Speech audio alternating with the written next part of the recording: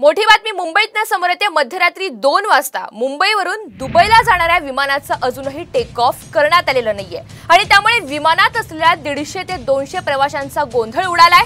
याबाबत विमानात तांत्रिक बिघाड झाल्याचं कारण स्पाइस जेटकडून देण्यात आलंय. दुसऱ्या विमानाची व्यवस्था करेपर्यंत थांबायला सांगितल्यामुळे आता प्रवासी संतापल्याचं चित्र आपल्याला विमानतळावर बघायला मिळत आहे तर मध्यरात्री दोन वाजता मुंबईवरून दुबईला जाणारं जे विमान आहे त्याची फ्लाईट अजूनही निघालेली नाहीये आणि त्यामुळे विमानात असलेल्या दीडशे ते दोनशे प्रवाशांचा अक्षरशः गोंधळ या ठिकाणी उडालेला आहे आणि या सर्व परिस्थितीमुळे हे प्रवासी चांगलेच संतापलेले आहेत आहे आणि हे